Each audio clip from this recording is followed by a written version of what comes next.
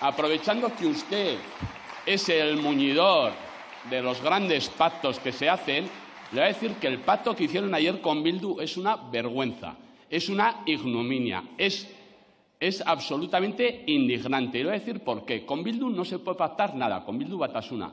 Pero pactar con Bildu Batasuna algo que tiene que ver con la Guardia Civil es un insulto a la Guardia Civil, al resto de los españoles, un insulto. Mire, los que señalaban, los que decían, los que apuntaban, los que disparaban, volaron autobuses llenos de jóvenes guardias civiles, volaron casas cuartel de la Guardia Civil con niños dentro, hicieron pancartas trampa para asesinar a guardias civiles y ustedes, a esos que han aplaudido, que han disfrutado, que no han condenado, que siguen diciendo que mereció la pena, ustedes les dicen, les dan la llave para que abandonen Navarra.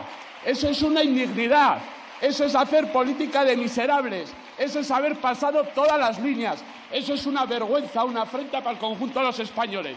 Dieron su vida por España, por la libertad y porque estemos todos aquí. Y ustedes, como les pagan, diciendo que Bildu les pueda echar, que Bildu Batasuna, eso es una vergüenza tremenda. Muchas gracias.